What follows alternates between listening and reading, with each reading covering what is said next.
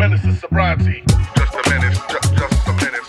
Just a menace. menace. Ladies and gentlemen, we are coming live from the Big Belly Comedy Club. It is Menace to Sobriety with your host, Mr. Daniel O'Reilly. Boom, boom, boom. Hello, and welcome to another episode of Menace to Sobriety. I am your host with the most, and I don't mean to boast. It's Dan O'Reilly, aka Dapper Laughs. And uh, yeah, man, welcome to the podcast. Listen, the podcast has been on some wild journey. We've had lots of different people in, it's been different formats, all of that jazz. Um, and who knows where it's going to go. But right now, I'm doing what I'm enjoying with the podcast. And what I am enjoying is meeting people, connecting, talking, and um, yeah, just sharing, right? And just like sort of finding out what people have been through, um, the different stories, what they've what they've overcome, what we can take. Everybody that I speak to in this studio has something that I get from from the conversation, some new nugget of information, some new little bit of inspiration, um, and yeah, it's like my therapy. These are like my meetings. These keep me keep me sober and uh, keep me happy, and I love to share that uh, with you guys on this platform. Before I introduce the guest, big shout out to John, the producer. Welcome. Hello, thank you. How you doing? I'm I'm good. It's great to see you. I haven't fixed the camera. Okay. Um, I don't know how to do it, but here I am, and I'm ready to learn. I'm ready to laugh, and I'm ready to Yeah. Learn and laugh. Yeah, but there's something going on with your hearing, isn't it? You said you got a hearing problem today. Yeah, I've played in rock bands for like ten years, and all I can just hear is just Right, my so- girlfriend shouting. So my podcast producer's deaf. yes, that's right. Okay, that's great. Okay, the welcome. system works. Welcome to show business, baby. Oh, that's all right. oh, sneak peek of the guest. Oh yeah. all right, ladies and gentlemen, welcome to the stage. Today's guest, Terry Devine. How you doing, Terry? Pleased to meet you, Dan. Thanks for having us on. That's all right. Welcome. Yep. How you feeling? Yeah, not too bad. Been Yeah. up early. It's been a long journey to get here. Where you come from? A Weston-super-Mare today. H- How long was the journey down? It's about two and a half hours, three hours to get down here. Thank you. I really appreciate it. And uh, we met at my uh, Menace to Sobriety live gig. Yes, that's right. You had Elliot Ward on and Yeah. Clark was with you. Yeah, John was there as well. John was there. Yeah, fantastic evening that was. And um, yeah, we got chatting. Also, me and you actually, I, I remember, I can remember now from your name. It's weird because you never click on the profile. Well, I don't click on the profile and search through people's lives when I'm in my DMs. The DMs come up, and I try and inter- engage or interact with as many people as I can. Uh, but me and you have been chatting on and off for a little while Yeah, yeah. through the DMs. So I've been following you for ages, and it's really weird because on my Instagram, I don't follow any of my friends at all. Right. So I just follow people that inspire me. So I'm following like Tony Robbins, Eric Mm. Thomas, all these type type of people. And then tucked in there, I had this like comedian that Yeah. laughs, right? But I used to watch your co- content the most out of everyone's. And then you made this massive transition into like sobriety, advocate for addiction and everything. And it just kind of fell into place. So I started messaging and Wow. reaching out because I like what you're doing. Yeah. Thank you, you man. Thank you. Yes, weird, isn't it? Weird from comedy to to uh, well-being, mental health, and stuff like that. But I love it, man. I love it, and I love chatting to people and getting feedback. But um, yeah, and then you you mentioned about coming on.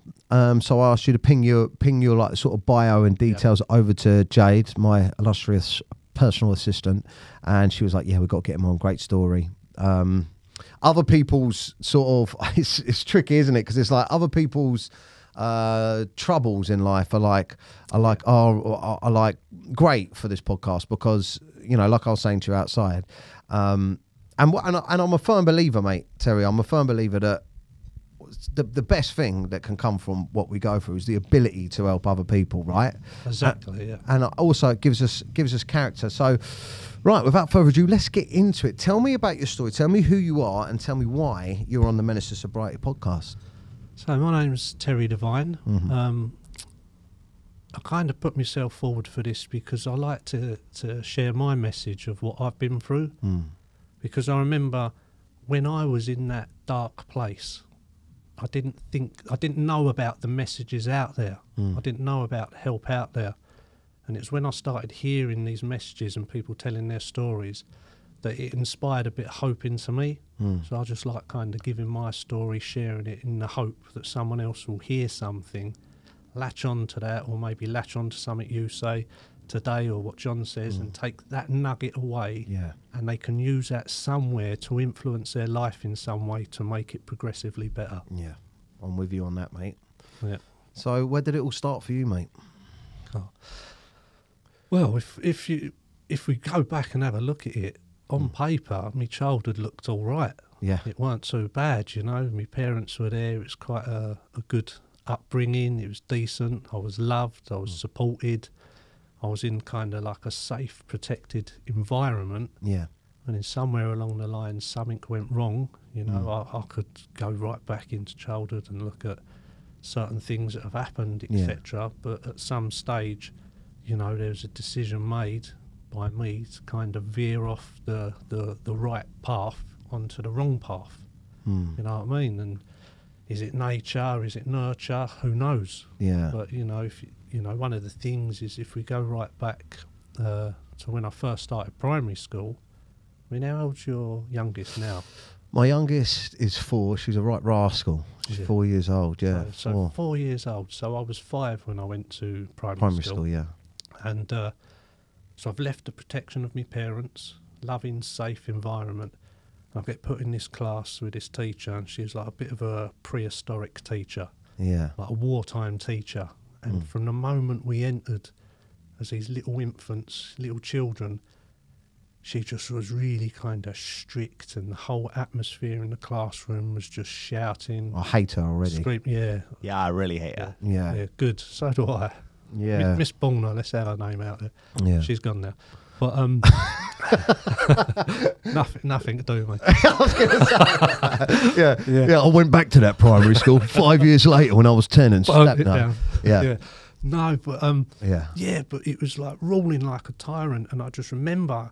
Well, I I didn't remember. It was my mum that triggered something. She said, "Oh, you when you was in Miss Bonner's class, you used to have a twitch," and I remember, and it kind of triggered some memories. And I used to have a twitch, and I used to wet myself. All Oh, makes me so sad that I was Yeah, listening so that's to that. why yeah. I asked you how old Rue was. Yeah, because yeah, when I see when I see Rue, she's she's such a tiny little baby still. Yeah. They're still tiny little babies, yeah, and um, they need to be like wrapped in. I mean, taught but wrapped in cotton wool and love. And you know, when she walks in, they grab her and they Yeah. cuddle her, and everyone's holding hands and cuddling, and she comes she comes bouncing out of class. Yeah, and they like it. Yeah, my daughter does. But in that class, like, she, you know, she used to take me out the front of the class, and I'd have my shorts on where I'd wet myself, and she just used to slap me and Yes. smack me. And so I think from that moment, I had shame slapped into me Yeah, as a little boy, and that has stayed with me through my whole life. yeah, You and know? just just just quickly, sorry to interrupt you, but they, they say shame has got such a massive part in addiction, haven't they? Yeah, there's uh, some kind of scale. I forget what it's called. And shame is like the lowest vibrational energy. It's right at the bottom. And if you're stuck in shame, yeah, you attract all this kind of negativity, and you're very stuck in what you do. And after time, it's not our fault. Yeah, You know, we oh yeah, please put me in shame. I'd love to live in shame. We've been forced there no, from some environmental factor, Mm. then we find ourselves there, and it's really hard to kind of claw your way out of that. Yeah. Or at least through my experience, it is. yeah. Well, it would take therapy. Yeah. Yeah. Well, it's taken plenty of therapy, plenty of Mm. treatment centres, the lot. But I mean, listen, that's abuse. That's that that's that's uh, that's abuse, right? That's uh, even getting smacked. I mean, like it's times have changed now. You know, we can't teachers can't hit our we can't we we can't teachers can't hit our our babies now. Yep. Um, but that was the old way, unfortunately. And and carry on, carry on, yeah. Yeah, so got that kind of instilled in me, Mm. and then I've just cracked on and tried to navigate and work my way through uh, through life Yeah. as, a, as a as a child, and I, I guess I masked it up because I was quite active as a child, and uh, you know, I played a lot of sport and stuff like that, so everything was good. But there was this period in my life when I got to about thirteen. You know, you're kind of on the brink of puberty. Yeah.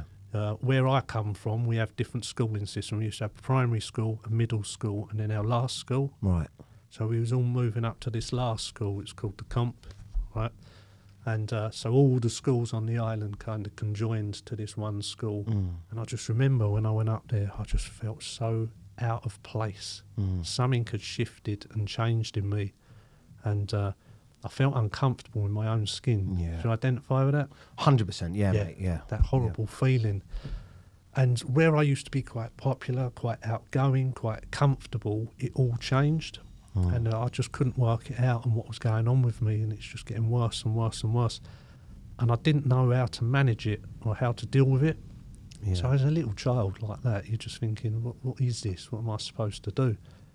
And it's around that period where we started playing football. We started having the odd drink here and there. Mm.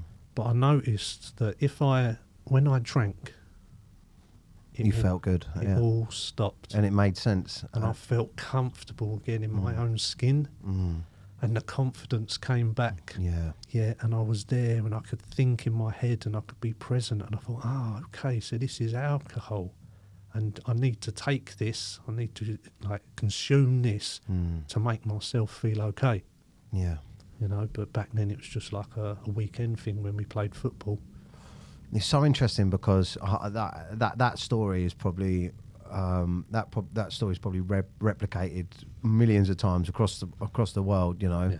you know, young young child in school doesn't really fit in, doesn't know what to say, doesn't know how to act, doesn't know how to make friends or who is friends, or doesn't really. Uh, and then suddenly you give them drink and put them in envi- in an environment where everyone's drinking, and they feel like they're fitting in, and they feel like they can kind of say and do what they want. Um, and I can see how how as kids, you know, we don't even know it, but we start looking forward to it. And then, because that my whole childhood was was getting pissed every weekend, Yeah. every fucking weekend, getting hammered, getting annihilated. Whoever was getting drunk the most, you look forward to it, and as you grow up, it gets more and more and more. But what you don't realize, what you're doing, is you're you're creating like an attachment to that escapism. Yeah. So it became the new crutch. Yeah. You know, where it was football, Yeah. playing football, now it was drinking on the way to football. And then it was drinking, oh, I've got to play a bit of football. Hmm. And then it was drinking, and then drinking led to the drinking culture and Yeah. getting out there. And it just became part of me, me life. But my my journey's slightly different to yours. You know, the way you used was very much in the sesh, you Hmm. Yeah. know, getting stuck in, weekends became big. Mine was short lived in that area. And then I ended up going down a different route, Hmm. you know, experimenting with drugs, as they say, until I found something that kind of sat well with me. Yeah. And then that was my my route to oblivion. What was that? Well, for me, it was uh, heroin, Wow. and uh, it was. I was trying to work it out. Like it was at a very, very young age. I was probably about seventeen or eighteen. That's scary, man. That's Yeah. so scary. Can you talk me through your first experience with it? How it can you remember how it came about? Well, I mean, where where were you living then? What was this island? So I live on. Well, I was born on the Isle of Sheppey, so it's in Kent. Other Right. Other side where Southend is, the other side of the water. Yeah, because I I um I lived over in Guernsey for a little while with my Mm. father, and the island mentality is so different. It's like it, it's like there it's like amplified. Do you know what I mean? Like the drinking, the drug use, everything. It's like everyone's sort of squeezed into a smaller area, and I, f- I feel like it's worse. Do you know what I mean? Like Yeah, it was exactly that. They call Mm. us swampies. right. and we're there. We got that island mentality. Yeah, and we're just, uh, you know, I'm there, stuck in that kind of area, and I don't know what it was. Maybe this is the addict in me. Mm. But it was always, what's next? Okay, Yeah. so I've drunk the alcohol, tried the acid, smoking the weed, Wow. done the speed. You know, I had a bit of Charlie. Mm. What's next? And I, this is the insane mentality, always in the back of my head. I thought, when will I get to try heroin? Really? So it was quite a, like a poetic love affair with something I hadn't had. Wow. And I don't know why. You know, I used to have posters on my wall with Jim Morrison and Kurt Cobain, all these people that have died from Heroin. it's fucking insane. right into it. You know, yeah, I love them people because they died from drug addiction or something like that, from overdoses. Wow. But I remember the first time I took it, I was with uh, a group of us, and I think it was like New Year's Eve, and we'd finished up, and one of our mates had stopped by, and he got some. And back then, how he smoked it was like chasing the dragon. Right. So it was on foil, and he done it, but and he said, "Anyone want a line of this?" So I, I had a go, and that was it. Nothing really happened. Probably too drunk to take it in. Probably didn't do it correctly. Mm. So I never thought anything of it. But then the next time I'd done it, when I wasn't drunk and I was away from that environment, and when I took it the next time, it just done that thing. It's like waiting for that that warm hug from your parents that you've always longed for, Mm. and it just soothed everything. The head just went quiet. All pain, all problems just dissipated. I just thought, yeah, there it is. Wow. there's that thing that gives me the thing that I'm after. Man. Yeah, That's scary. yeah. It's very short lived though. Oh right. Yeah, because uh, I, I went from that. I become an intravenous drug user straight away. What do you mean? What? As soon as you used heroin, you went, "I want to just sit at home doing that." Yeah, I was, it was a very short period from smoking it to becoming Oh. someone that used with needles. Right. Okay. Yeah, and then that was it, and I've done that for the next twenty years of my life. You know what I mean? But from that period of starting to use intravenously, intravenously, within a matter of a year or so, I knew that it wasn't for me, and that I didn't want to do it. And you couldn't get off it for 19 years. Yeah, still, and I've I tried everything in that period of time to stop doing it. Can I just ask? How, sorry, it's a lot to take in. Um, it's man, and this is it's kind of this reminds me of when I when I have been at the meetings before. Sometimes I feel a little bit, you know, we can. Addiction's got so many different faces, like you know, and there's so many different levels to addiction, and it never ceases to terrify me, man. But when you were so you got i mean obviously it's not that much of a jump is it from from uh, uh, chasing the dragon to injecting it but can you can you remember why or you were like well i like kind of like the feeling i'm getting from this. Is it better injecting it? And that's how you got to that bit. So so it, for me it was it's it's more intense. It's instant. Right. Yeah so it's there straight away. You know it's the difference between sniffing cocaine and smoking crack. It's instant. Mm. but there was this thing that it was the notoriety that went with it. See that's what i was gonna i was gonna ask you about Yeah. because to, to me when i look back on my cocaine use i the the the actual the actual action of sniffing a line was so much such a big part of it. Yeah. Do you know what I mean? If that cocaine was in a pill and they was like, right, take the pill, I'd be like, "Hmm, that's nowhere near as fun. And it's so weird, isn't it? yeah it becomes a ritual Yeah. Yeah. Yeah. and I guess that was uh, part of it. And because I wasn't succeeding as a person on this planet Mm. as a teenager, that living outside of society, I suppose I got recognition. You know, if I was drinking, oh, Terry will do that. Mm. Terry does that. He- He'll, he'll get nicked doing this. And I became, I, I guess I, I stood out, so I got Mm. recognised. So I was getting attention that I was probably seeking from somewhere where I Mm. wasn't getting it. Yeah. So if you're going to be a drug user, be the best one. Yeah, I just didn't, didn't happen though. I was a terrible drug user. So what? Talk to me about. Tell me what did that do to your life? What happened to you in them 20 years? It absolutely destroyed everything I had, and I had nothing to start with. It took everything away, destroyed every single relationship, and it placed me in a place of existence Mm. where, for the majority of those years, I just felt pain. Mm. I had suicidal ideation. Um, I was awkward in myself. I was locked away. I was isolated, separated, lonely. You know, and I would try. I'd come out and try and work and lose a job. I'd try and get in a relationship and lose the woman. Mm. I'd try and make things right with my parents and screw up again. Mm. It was just like this. You could see like this landscape of problems just along the, the timeline of my life. Yeah. Everything, one thing after another. Nothing was ever successful, Dad. Man, ha- uh, sorry, because I, I know not I don't know a lot about um, heroin and everything like that. How often did you need to use, or did you use daily? Yeah, so when, when it comes to heroin, it's like you wake up ill. Right. So you've got to do something to get out there to take away that ill feeling. So when you're withdrawing, so it's, if I say it, I would wake up and the instant my eyes opened, I'm going, where can I get money from? Right, who's right? Who's on? Yeah, whose giro day is it? Who gets the script today? Right, I can't go to the co. I can't steal anything from there because the security guards are on me. Mm. So I'll have to go to that shop. I'll have to do this. Need a tenner. begging, whatever. It is just I need to get money, and I've got to do whatever I can do to get that money. Just get ten pound in me, so I can get what I need, get that into my system as quick as I can, and then I'd feel all right. so I had to do all that to feel normal, like normal people do when they just wake up and live their life. Once I felt normal, it's like now I need to go out and earn some money so I can use. Mm. So it just never stopped. Daily basis. So hard.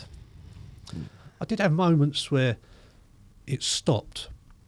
Like I, my brother said to me one time. He said, "Look, here's a job in France. Go take it.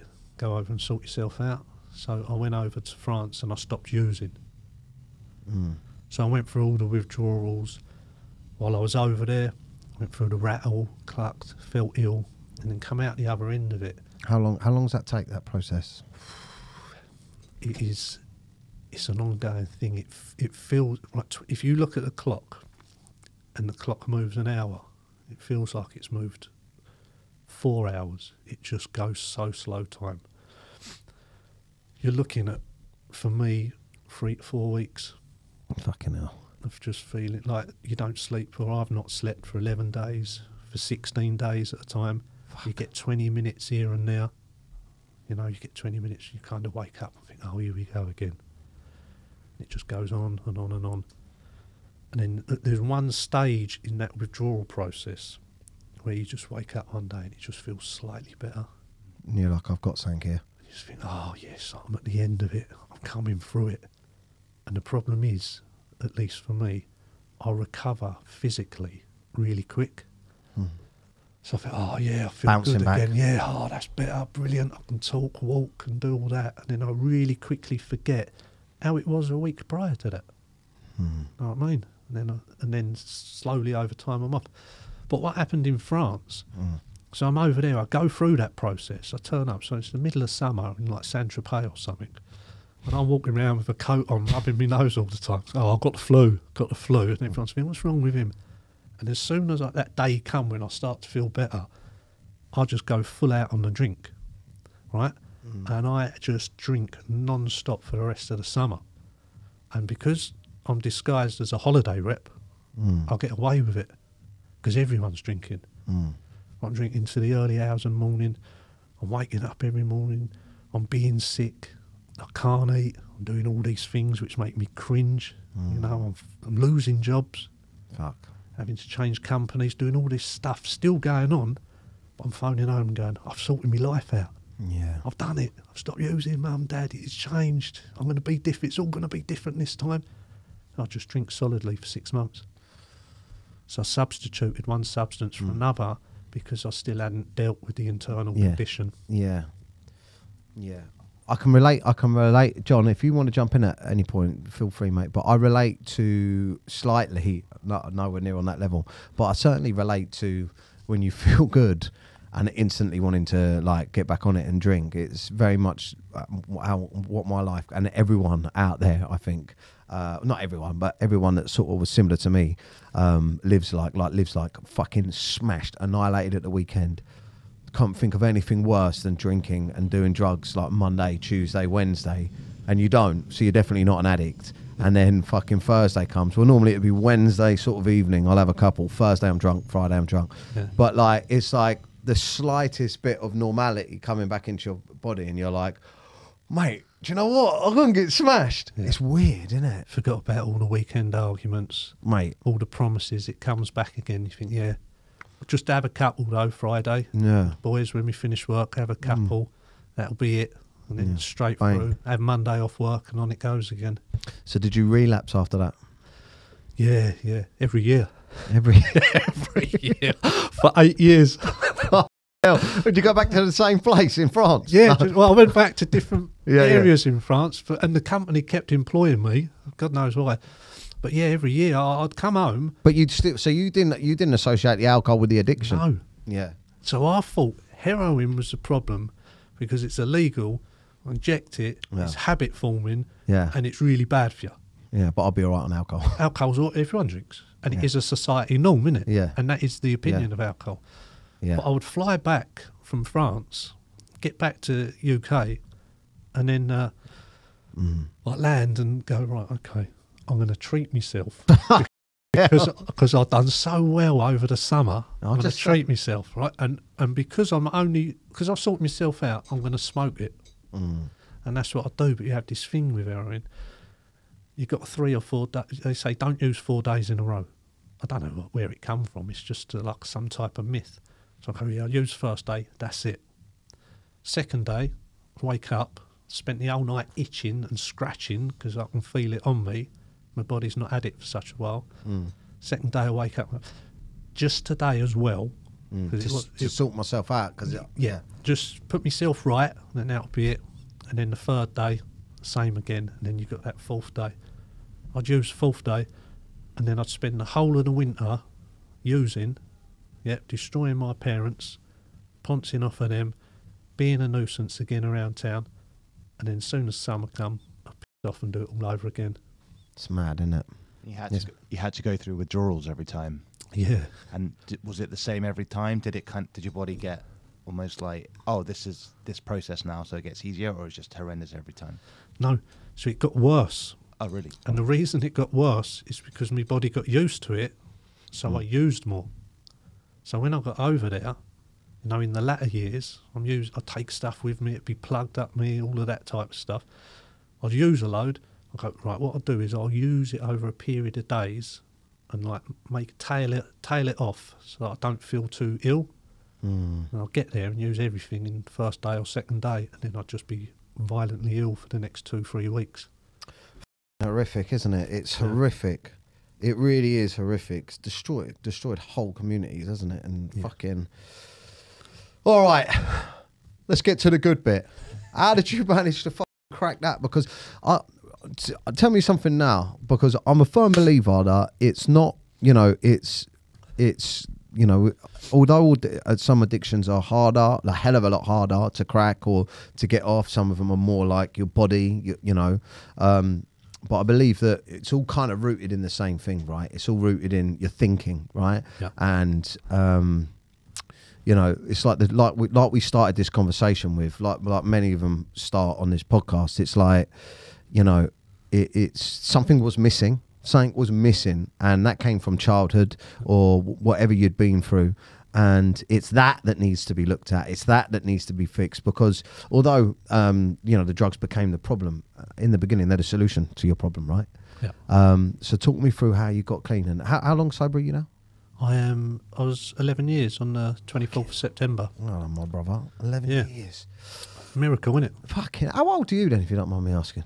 Uh, 47. 47, 11 years. Wow, that is a miracle, mate. Yeah. That is a miracle. If you think about that, you ma- you spent half your life Yeah.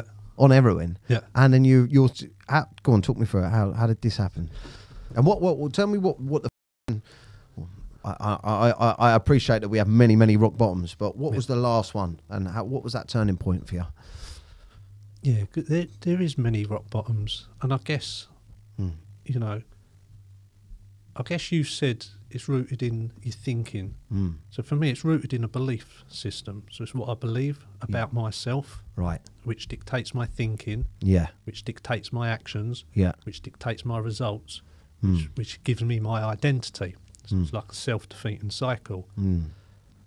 So Wait, wait. Just to start you on that again, it, it's what you believe in yourself. Yeah. It's so it's, it's Everything starts with a belief. what your belief is about yourself. Yeah. Who you are, what, Yeah. what you deal with, and what's Yeah. happened, and how you view the world. So if I said something to you Yeah. and it offended you, it's because you believe something. So then you think something Mm. connected to that, and then uh, the chain goes on. It's so interesting that you say that because my friends, particularly one group of friends that I've got, um, uh, Lee, Matt, and Mark. There's like four of us, and we're in this little golf group.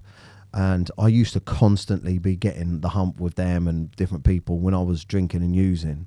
Uh, I honestly thought they didn't like me and they were being horrible and rude and spiteful. Um, but since I've been sober, the, all the piss taking that goes on, I love it Yeah. and I believe that's because how I view myself Yeah. is different. Well, you are. You're doing the work. I've seen it. Mm. You're putting it in. You're trying to change your mindset. So you're changing a belief within yourself. Right. You don't long now. believe as much as you did. Oh, I need to go out every week Hmm. because that's Dan. Yeah. Dan is the bloke in the pub. He's the centre of attention. He's a right laugh. Yeah. The geezer. All of Yes. that. Yeah. You're starting not to believe that.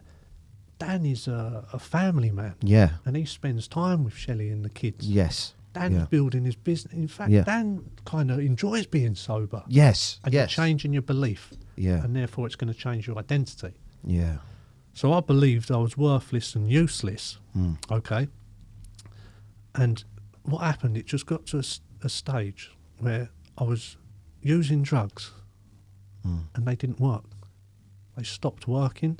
Wow. What the the the, the heroin? Yeah. It just it didn't take the pain away. So it stopped the withdrawals, but it didn't take the pain away. That internal thing. Hmm. So it was just There was no escapism. It was No. just it was it was it wasn't an escapism of the mind. It was like physical withdrawal escapism. That was it. Yeah, so the, the withdrawal would stop, but I would still be in that pain. Yeah. I would still want to die. I would still walk them streets, worthless, useless, just thinking this is my life and this is it. And uh, my parents probably don't know this, but I'm gonna I'm gonna share it anyway. So I went over to France. My parents moved to France. They was over there, and I went over there, and I'd had enough. And uh, they had this like this log fire thing in their Mm. room, and they'd gone up to bed. Thirty something years old, back on their couch for another two weeks. I'll get myself clean, type of thing. And I just I was poking this fire with the the poker and getting it all stoked up, and I was just sitting there and no, it's it's not working, and I'm so depressed, and I just thought I can't do this. I cannot do this anymore. Mm. I had nothing. I didn't have a girlfriend. I didn't have kids, so I had nothing. I just remember thought, okay, so this is it. This is my life. And I took, remember, I took that poker out of fire, and it was glowing. I just remember pressing it into my forearm, just pressing it in as a sign of pure self hatred towards myself. Then I took every tablet I had, took the lot, just ingested a lot, and then drank a bottle of gin. I thought, that's it. That's it. It's all Mm. over. Fucking hell. And then I woke up the next morning, and even that was like, you, you can't do even do that right. but so, my mum and dad didn't see that, but they knew the depression prior to that, Mhm. and they'd done something. And they instigated enough to usher me into treatment for the first time. And by going to treatment, I didn't stay clean. But a message, a seed was planted. Hmm. It was the first time I experienced that other people were staying clean. Hmm. Powerful. So I see stuff there. So you saw you saw a different life. Yeah. So I thought, oh wow, they're doing it. I- So I started going to the meetings, started talking like them, Mm. etc., etc. But I didn't change my belief. Mm. You know, I'm still worthless. I'm still useless. And eventually, after a period of time, I couldn't deal with life. Couldn't manage my emotions. So I used again. Mm. And uh, when I used, I remember I went over to France and I'd been clean for about three months. Mm. I went over there and I went because no one could see me. I thought I'll have a beer. They say the first one does the damage, don't they? Mm. So in France, you get something called a demi, which is half a beer. Mm. So I had that. I ended up getting paralytic. And because I'd lived in France for so many years, I knew how to work the doctor's system. So I ended up with scripta subutex and a load of benzos, right? Took all of them. Don't remember leaving France and flying back to Luton. Turned up in the dry house and I am all over the place. I got kicked out. Within two days, I'm homeless and I'm sitting outside Luton train station begging again. And I just thought, how has it come to this? Just one beer. One Just beer. one beer. Yeah. And it's that moment I went, ah, get it. You are the problem. Mad, isn't it? Yeah. And I used for five years. And I knew I was the problem. And for that five years I used, every single day I used, I used against my will. And that's my rock bottom. That five years. Yeah. it's so powerful what you're saying, mate.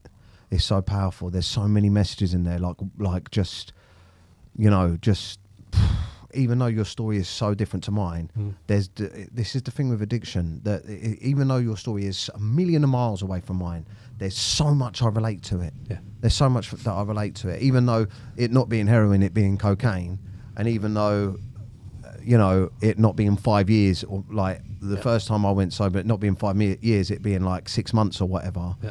But it still was all right, one beer, Yeah. and then it was carnage, mate. And I was sitting there. It was almost like, and tell me if you relate to this. It was almost like. Now I know I'm fucked, and now I understand that I'm an addict. I want to consume as much as I can Yeah. until the next time I've got to stop this. I'll be I'll be honest with you.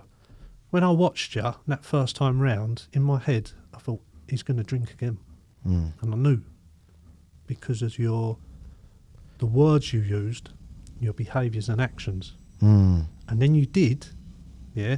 Can you remember that video I put up where I'm, I, I, I had one, I, I was doing a Yeah. so nice video. I put a video up. I was like, do you know what? I've done however many months, three or four or five or what, I can't remember what it was now. But I was like, oh, I'm back on the beers. I'm just going to have the beers. And I filmed it and put it up like it was a celebration. Yeah. And how did you know that I was going to go back to it then? What did you see? So the town I live in now, I, we are amongst addicts all the time. There's a massive recovery uh, Mm. community, community there. So I see patterns and demographics, and it's Mm. just what you was doing and what you was saying, who you was hanging around with, the situations you was in. Mm. But I'm not going to send you a message saying, "Dan, you're going to use again." You're going to say, "Who's this?" You Yeah, know what I mean? because yeah, I guess I guess because I hadn't. Well, I'll tell you why. Because I was, I uh, that that time I was like, I'm not, I'm I'm going sober. It was it was just for Shelley, really. Yeah. It was like you know to end problems. It wasn't. I didn't believe I was an addict or, or think that I had a problem, Yeah. and that's why I was still in amongst it. You know, like I'll still go to the pub, and be with you, like, but I ain't drinking. But I was there. and that's why this time round I watched you and I thought it's different. And exactly what you just said, and I know you struggled with it, Yeah, but you didn't think you was an addict. yeah, But now, even though you don't like to call yourself that, yeah. you know Yeah, I know. you're the problem. I know. Well, the difference, yes, Yeah. hundred percent. So- Well, the difference, the difference is for me now, and um, the difference is for me now is what I thought an addict was then as well. Like my mature, my my, I had an immature, bit of an immature view on what an addict was, or a I had a stereotypical view of what an addict was. You know, uh, I thought an addict was a heroin addict, or I thought an addict, an alcoholic was, you know, uh, drinking every day. Yeah. You know, I wasn't an addict in my mind. I'm not. I'm not an addict. But now my now my uh, view of addiction is if once you start drinking as well, you know, or using whatever, you can't stop. Like you know, and like you said when you picked up that beer, and and again, this is why I think it's kind of kind of the journey of sobriety and it, you got to be careful not saying this because you could i don't want to encourage people to relapse at all but i feel like there's so many similar journeys it's like you don't think you need to stop you know i'm wrong or blah or whatever and then you stop you, you try and stop and it's either like the, the action of trying to stop and not being able to stop or realizing you've got to stop and then kind of stopping and then going back and seeing the rapid annihilation the rapid like destruction Yeah. is kind of part of the process. we could say like, you know, it you can stop, Mm. but can you stay stopped? Yeah, And that was the problem for me. yeah, You know what I mean? I found it impossible to kind of stay stopped. Yeah. That's the problem. yeah. Because I can, I can remember as well. It's like stuff was happening. Stuff was happening to me. I don't know if it had always happened to me uh, when I was drinking and using, but certainly when I went back to it, stuff was happening that was out of my control. Hmm. uh, which I never thought was happening before. Like, for instance, saying to her, "All right, I won't drink tomorrow." Or, "Uh, sorry about all of that. I won't drink tomorrow. Yeah. And then being out and then finding myself drinking and then suddenly going, "Oh my god, I'm drinking," and going, Oh, yeah. "What? Uh, you know what I mean? Where'd Where that come from? Where'd that come from? And then whereas, or and then or and then, or looking back at the week and going, "Oh mate, you you you got off your nut like four times this week. That's more or less every day, Yeah. every other day on drugs." And then I was suddenly I was like, "So yeah." So I know you said like we use different different ends of the spectrum or whatever, but we got two things in common. Mm. And one is we both know that pain. Yeah. Yeah, no matter how we used or what we used, and for anyone listening, how they used, if you're there and you've been there, you know that pain. Yeah. And the other thing we got in common is our goal, Mm. and that's to remain Yeah. in recovery. Yeah. So it don't matter what you use, how you use. We got that. Yeah. Yeah, it's making me a bit emotional, mate. It's quite powerful, you know. And it's like, I when I, I don't know if I've said this before, but when I walked up to the first meeting, I done it down in Guildford, and I walked up and I, I looked at the guys there, and I was kind of like, and I can remember this one guy had a big like porpoise nose, Yeah. and he said to me, "What's wrong, mate? Do you not think you're meant to be here?" And I instantly went, "Yeah, I, I, why? Because I look different to you." And it, and he said to me, um, "Have you struggled to stop to stop? And do you want to stay stopped? And uh, you know, are you in pain?" And and he said, "Well, you're meant to be here then." Yeah, I think you tr- you try and dismiss yourself from the qualification if there is such. I do thing. do that. I think. Yeah. I think. Do you Um, know? I think. I think sometimes I don't. I feel a bit guilty. Maybe I don't know. Not Yeah. guilty or like that I haven't used or had enough destruction or da da da da to be here talking about it. But that's why I try and get people into learning. But yeah, Your your using was enough then. yeah, It's what you did, or you wouldn't be doing this. mm, You know, I've watched your stuff and I've heard you, yeah, and I know the pain. mm, And you hear people's stories, and I can do it. As we say, oh, I ain't been to prison, I ain't done that, mm, blah blah blah. But I'm at a stage now where I just know, yeah, and it ain't about what I've done. It's about when I do it, what happens, yeah. and that's enough. That is enough, man. That's enough. Yeah, I had. Uh, yeah, yeah. Talk me through how you recovered then. So, uh, So that five years. yeah, five years, another treatment centre, another detox unit, more Mm. drug services, etc. I ended up in uh, ended up in a detox unit in Weston-super-Mare. Mm-hmm. Remember, I went in there, just uh, had my 36th birthday in there, Mm-hmm. and uh, I just thought, here, here we go again. Hard work. Yeah, another five months of therapy and sti sitting in groups and sharing me stuff and another withdrawal, all of that. And I left that that detox unit got a taxi to the treatment centre. And I just thought, I'm going to drink. I'm going to stop on the way. I'm going to have a drink. I'm going to have a drink. I'm going to have a drink. And I was really fighting with me head the whole way. Shall I? Shan't I? And I ended up in this uh, treatment centre. I made it to the treatment centre. And I'm in there. And I just thought, you know what? I'm going to give this a go. Right? So I, previously, I'd done 12 step treatment centres, Mm. and this wasn't. This was like a self empowerment treatment centre. Thought, I'm going to give it a go. Mm. And when it all kind of fails and falls down around my ears, you know, I can tell everyone, I told you so, and then my misery can be refunded, Yeah. right? Because that's my history, that's how the pattern plays out. Yeah. But I made a decision, I'm going to give it a go, because I knew to return and the drug's not working, that weren't no life. Mm. So I had to try something. And I did, and I found it excruciatingly painful, really difficult. I'm quite shy, quite reserved, not outgoing. So sit in these groups and bare my soul Yeah. to deal with all these personalities, it was quite difficult and challenging time. Mm. And then I came out of there and I started going to meetings. Okay? And by going to meetings, I created a community around me. And it was being amongst like minded people that were in recovery Mm. that my life began to improve. You know, it changed. So you think, so I always think it's the condition of the person you're with. So I spent 20 years sitting with addicts, nothing happened. Now I've spent the last 11 years sitting with addicts and something's happened. It's because the people I spend my time with now are in recovery Right. Mm. and it just changed. I mean, how I recovered is I went through a 12 step program. Yeah. It's as simple as that. You know, I've done work on myself, dissected my life, looked at myself, replaced certain negative behaviour patterns and character defects with different spiritual principles, you know, and made a decision, which is very important to me, is that I weren't getting clean. Mm. I was getting my life back and more. Yeah. And that's important to me. So, for very early on, it was like, I'm going to live Mm. I'm going to live and I'm going to embrace life. I'm going to cling on to it and enjoy it. You know what I mean? So that's what I did. Wow, and that's eleven years. Eleven years, and you still work on it every day. or uh, do you, how many meetings are you are you still doing the meetings and I still go to meetings. Mm. Um, I still do everything I can yeah for my recovery, but um, I still carry the message everywhere I go. yeah I'm an advocate for addiction recovery, mm. but I build my life as well.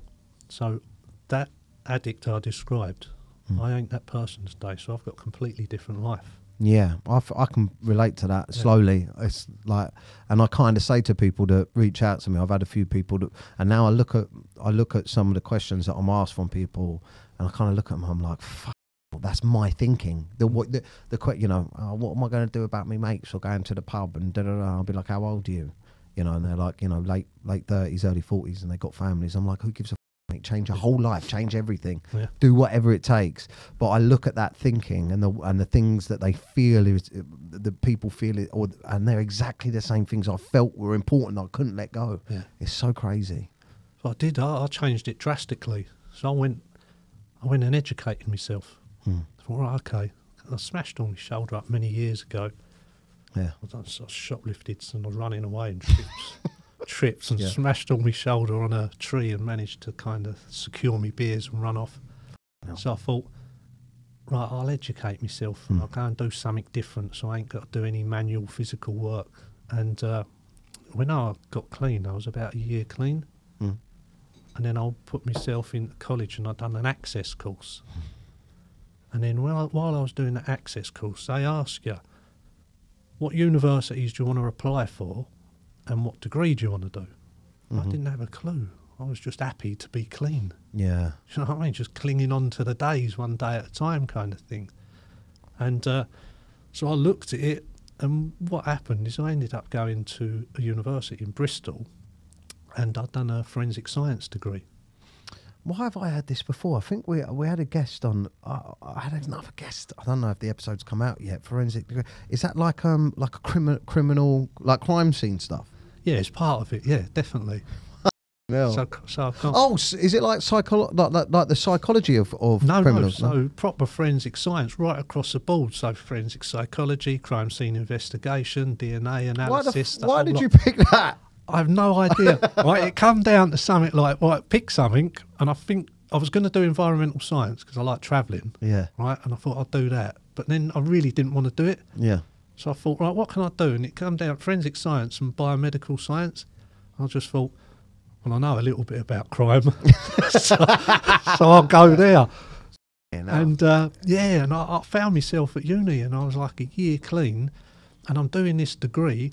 And just as I've started, the girl that I've met turned hmm. around and says, "Oh, I'm pregnant." wow, it's like your whole life is changing. Yeah, and I'm like just newly clean, and I just think, "Oh no, this is a lot. Yeah. I, How do I do this? How, know how that do I manage, manage this and navigate?" now I can't f- as well. yeah, yeah, yeah, especially that. Yeah, that, that, that, that, that, I know that feeling. Like, all right, it's all well and good, everything's great, but f- now I really can't. F- Yeah. Wow. And uh, yeah, and especially when my daughter was born, because I remember my wife. She's my wife now. Wow. We got married, so I've been. She, we've been together nearly eleven years. We met when we first got clean. We stayed together, and uh, we got married last year. was she was she an addict as well? She is. She wouldn't mind me saying she's in recovery. She'll be eleven years next month. Wow. Yeah. Congratulations. So we've done it.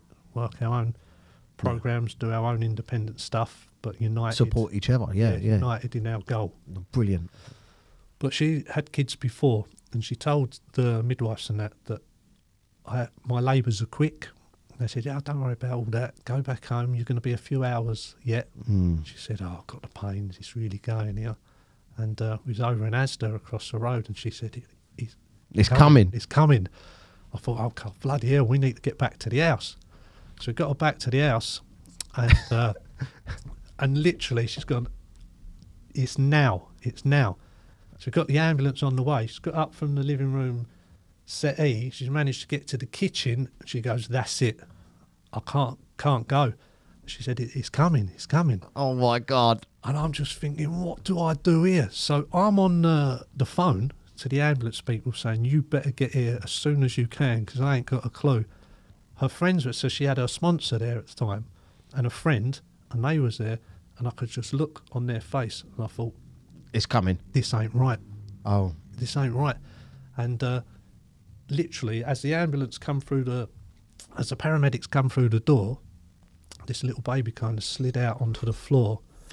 On the kitchen floor. Yeah, born in her waters. yeah, and that kind of popped, and then she come out, and I just remember thinking, thank God I'm in this position. Yeah, yeah. To, to handle this, to see it, to be present as well. And Yeah, well, it was the little things, Dan, because before, when I used to live in my flat, I had dust sheets as curtains. I'd sold everything in my house, apart from a slow cooker for mm. some reason. I had a cat that left me, all my windows were boarded up, I had nothing. Mm. And then when they was there this time, they needed pillows, they needed clean towels, I had a phone, I had all this stuff. wow, they just could- put it in perspective. Yeah, and I just thought, thank God this happened while I was in recovery. Wow. and they took her off and uh, yeah got had our little daughter we've been raising her for the last nine years and uh, Wow. she's a miracle Mate, just I know it's not a little thing, but that thought of if I if I wasn't sober, by that it's that stuff that keeps you. You know what I mean? Those moments that you're like, I really need to be like this. Nine. How what's her name? sophia Sophia. Born on the kitchen floor. Yeah. I love that. the birth certificate says the name of the address of where we was but it's like you said i knew i thought right, i have got to be responsible now for the rest of my life for this little mm. bundle of joy Yeah, man. that's man. my job I just had this image of you running out of Asda with your pregnant wife, and um, I was just thinking, mate, you've run out of there with some stuff before, haven't you? But never a pregnant wife. never a pregnant wife no usually blocks of cheese and bacon yeah, yeah. Wow, that's well. That fills me. That fills me with joy, man. My my kids, as you probably know from so, following my social media, are um, you know, my my, my motivation, yeah yeah uh, definitely and um, yeah. So, what advice would you give to people that? I mean, man, what advice would you give to people that are looking at it now, or that are in it, or feeling it, or what's what? You know, I always like to ask people, what's the ma- like? You know, what nuggets would you give to people? What's the main bit of information you'd give to someone right now that was looking? Because I always, I love to, I, or I don't love to, but I always like to look at what my perspective was looking at sobriety because Yeah. the the thought of it always was. yeah So, what advice would you give to anyone looking at it now, or that's in pain? I would say you need to be honest. Yeah. You need to be really honest with yourself and identify a problem. Mm. And if you identify that problem, you need to be willing to make the changes you need to make Mm. in order to change your thinking and your behaviours to live a new way of life. And no matter what happens, no matter what you come up against, don't use, right? Because you, when you use, there's no hope. Yeah? When you're in recovery, there's always an ounce of hope somewhere, right? So no matter what happens, stick with it because there's always someone that's been through it and stayed clean and Mm. sober. Yeah. And I'll give you an example. So our second child, Jacob, he was also born in the same house. Oh, Right? really? What? It was that quick again? It was planned. Oh, right. Okay. It was planned. So we said we'll have him at home. So on their birth certificate, they got the same address, right? So we called the midwives round. Mm. She's going through the labour. They've turned up, and we're there in the living room. Two midwives, me, my wife, and Sophia was in the cot in the other room asleep. And uh,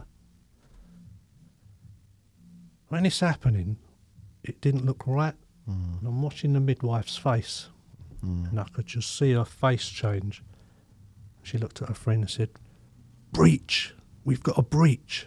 Mm. Okay. So up until that point, we was told everything was all right. Mm. We shouldn't have to worry. Mm. Then we had this breach. What does that mean? Sorry. So the baby had turned. Right. So instead of being head down, it was coming out feet first. Okay. And my wife was really pushing to get this child out. But because we was at home in the living room, I don't think the midwives had the apparatus they needed and the equipment they needed to do this job personally. And he was trapped and starved of oxygen for about 28 minutes. And I remember the midwives arguing, saying We've got to get him out. And by that time, we had had more midwives turn up, paramedics. They finally got this baby out. And I remember them saying, "Heartbeat, we've got heartbeat." And in that moment, I thought, oh, "Yes." It's a bit of hope. I thought, "Yeah, okay, good." So my wife was rushed off to the hospital. I followed up in an ambulance. And our little son, Jacob, he was put in the ICU unit. He had all these wires coming into him and pads and a little vest thing, big screens and monitors. I was just thinking, how is it, how we come to this? This is bad, you know? But because we was part of a community, we had enough people, they just come up every single day, it was constant. How are you? How are you doing? We didn't know what to do. We just cried our way through it. He was the poorest baby on the ward, we got told, and they moved him to another room. And then, uh, five days old, I had to hold that little infant in my arms whilst my wife clung on to me. And he tried to take a few breaths. He didn't even take a breath and he just died. Oh, mate. Past there. hell, man. I'm so sorry, man. That's all right. I'm trying not. I don't want to get upset, but that's. I'm sorry, man. It's just that stuff. It really gets me. I know. The babies, mate. And I'm really sorry, man. I'm sorry that you It's right, lost. man. I'm sorry, mate.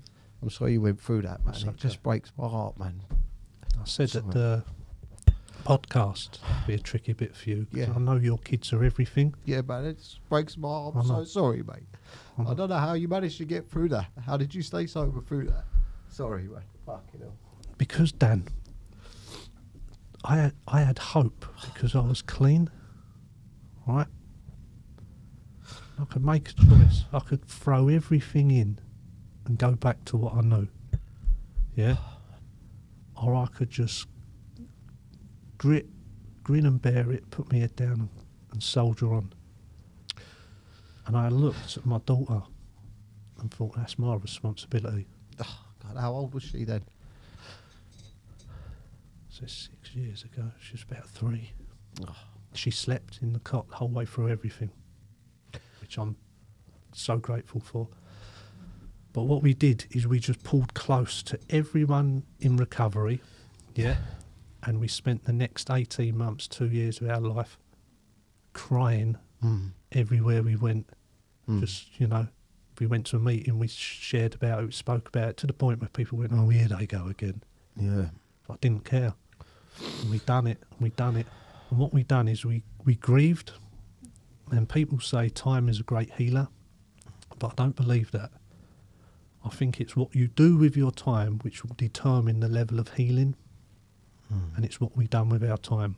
We grieved. Yeah. We stayed in community. We stayed in recovery. Mm. We shared our experience, and then we helped others.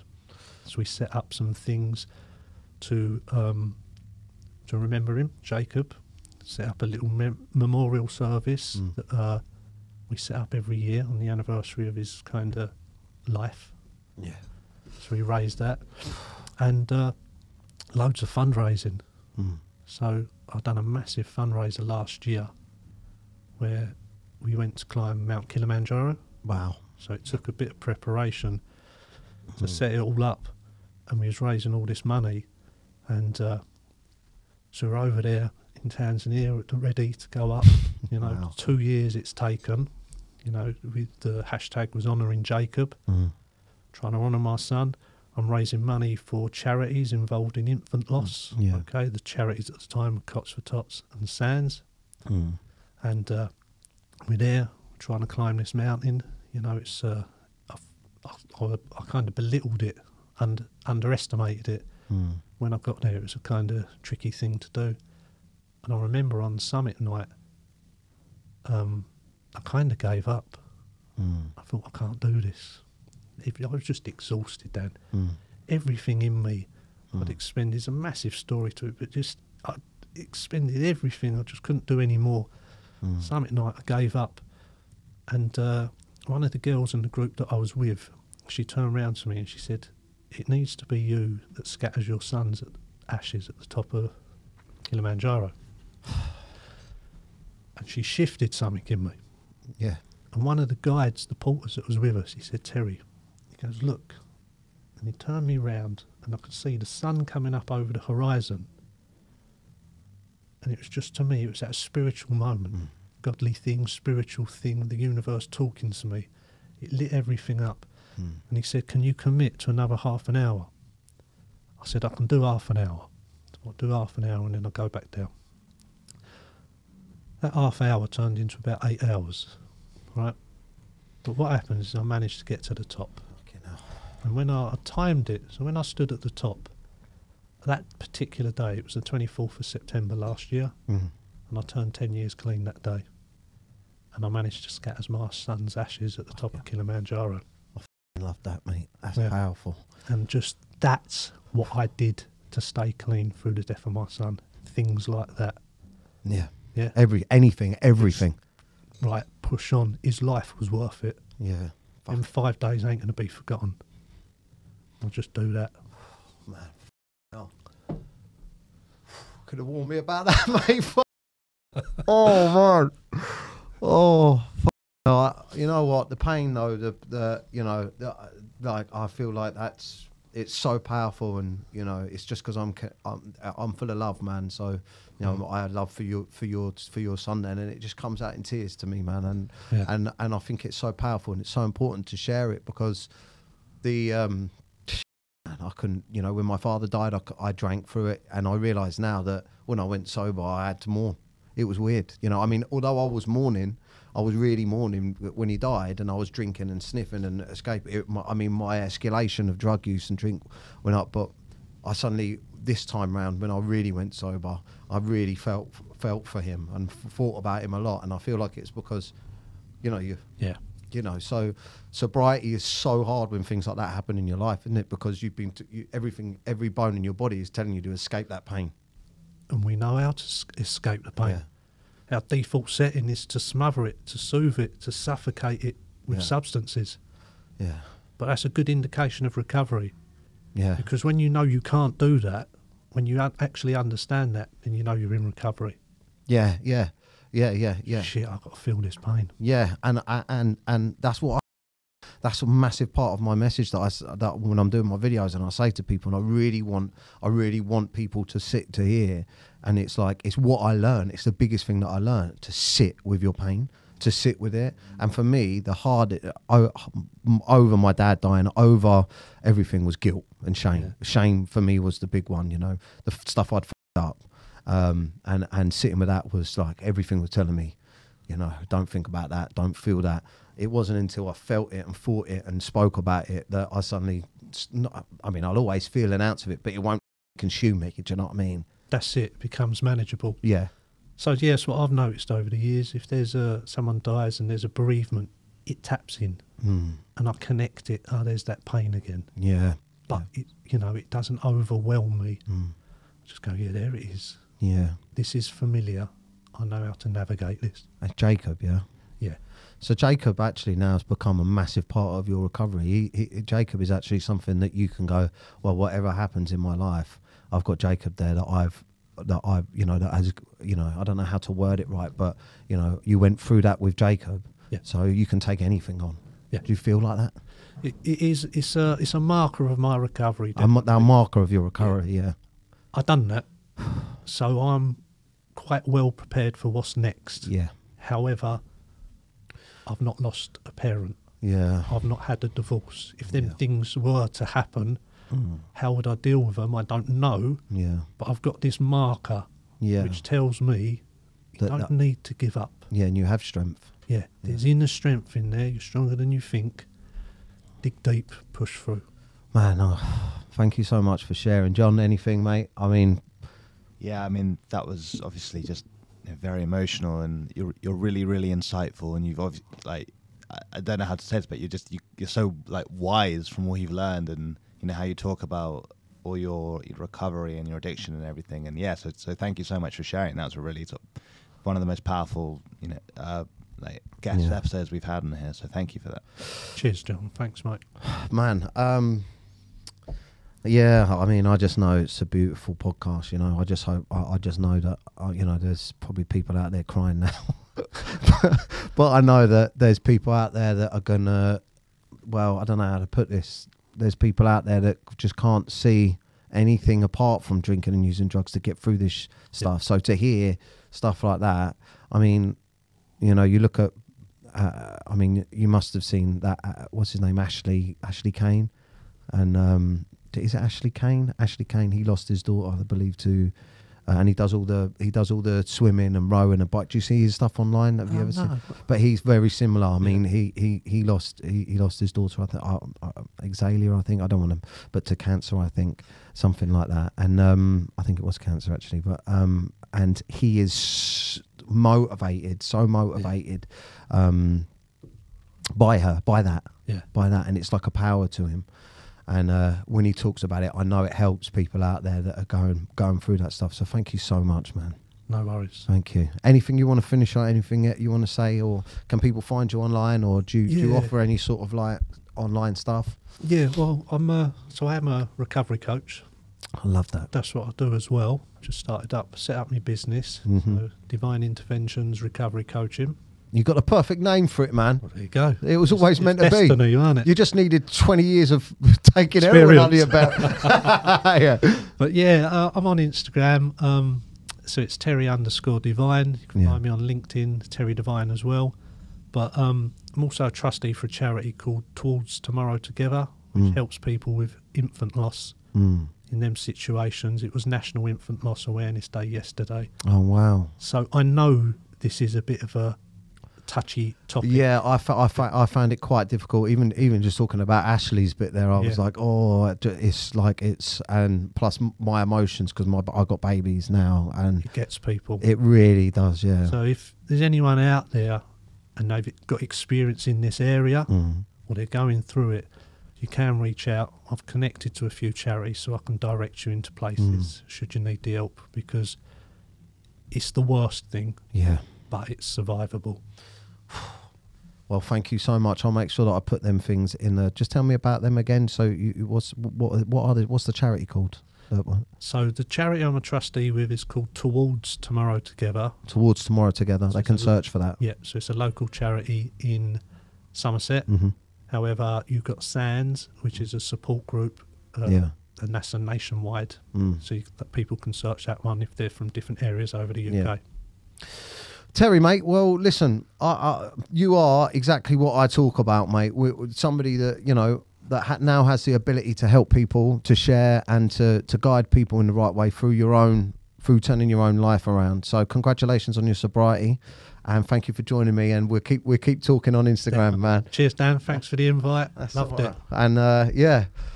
Woo! Okay. thank you so much, Terry. I really appreciate it. John, thank you very much. Thank you for having me once again. Love you, man. And uh, for everyone out there, thank you again. If you uh, if you if you tuned in through that, or you're listening at home, whatever you're doing, like I always say, this podcast is just sort of organically moving in in directions. But look at that; that is a prime example of me making my way up here today to sit down and have a, have, have just a little chat with Terry and to just feel like I've like we have created something in this room over the last hour that could potentially just set thousands of people on a different route or get them thinking and give them hope. And that's the main thing. I don't, i'm going to start crying again so i'm going to go but um, big love to everyone out there. Sharing's caring so please do share the podcast leave us a comment and um, yeah look terry up on instagram. Thank you very much. Bye Hello! We are going to take the Menace to Sobriety to the live stage, and we need a live studio audience to interact with us, to come along, listen, laugh, and learn everything about sobriety, mental health, well being, and just come along for a night out with like minded people. We are going to be going live on the 30th of August, 27th of September, 25th of October, and the 29th of November. That's one a month. Get your tickets now. Come down, meet the team, and have some fun. Menace to Sobriety Live, coming soon. Oh, yes. And don't forget, if you want to come and see me live and meet me, I'm going on tour. The Daniel O'Reilly Out of Character full UK tour kicks off in January 2024, and tickets are on sale right now. I'm going to try and get out and meet as many of you as possible. And of course, I'm going to be bringing the laughs all over the UK. There's 23 dates right now, and I'm adding more all the time. Hit the link in the bio and get your tickets now and come have some fun. If you're going through a tough time at the moment, please don't suffer in silence. Feel free to pick up the phone and contact any of these helplines. I personally, myself, at one of my darkest points, contacted the Samaritans and it completely changed my outlook and got me out of a really deep, dark place. A problem shared really is a problem halved. So if you don't feel confident talking to those around you, check out any of these organisations and give them a call. This is my Facebook group. Just simply search on Facebook Men and Their Emotions. It's for men only. Uh, but once you're in there, you can talk anonymously about your problems and help others and just build a little bit of community. So come join the conversation, Men and Their Emotions, on Facebook. Thanks for watching. Menace sobriety. Just a menace, just a menace. Just a menace. Menace sobriety. Just a menace, just a menace. Menace sobriety.